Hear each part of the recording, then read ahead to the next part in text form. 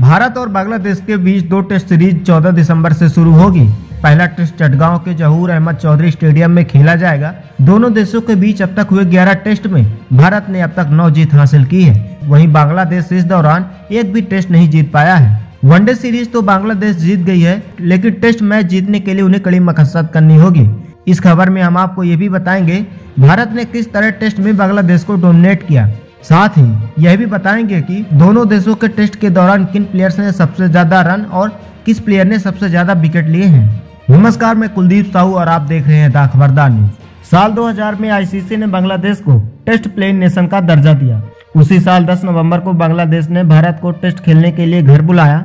बांग्लादेश यह मैच नौ विकेट से हार गया। इसके बाद दोनों देशों के बीच 11 टेस्ट खेले गए, जिनमें से नौ मैच भारत ने जीते और दो मैच ड्रा रहे। बांग्लादेश को एक भी जीत नहीं मिल पाई।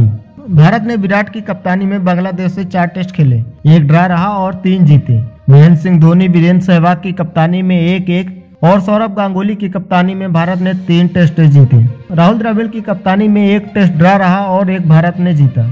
ओवरऑल बांग्लादेश ने अब तक एक सौ अड़तीस टेस्ट खेले हैं, जिनमें से 16 में जीत मिली और 100 बार उसे हार का सामना करना पड़ा।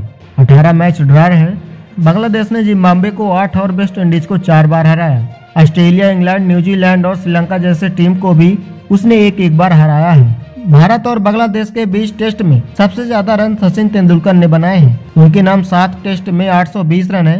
उनके बाद राहुल द्रविड़ ने सात टेस्ट में 560 रन बनाए हैं। विराट कोहली इस लिस्ट में तीसरे नंबर पर है।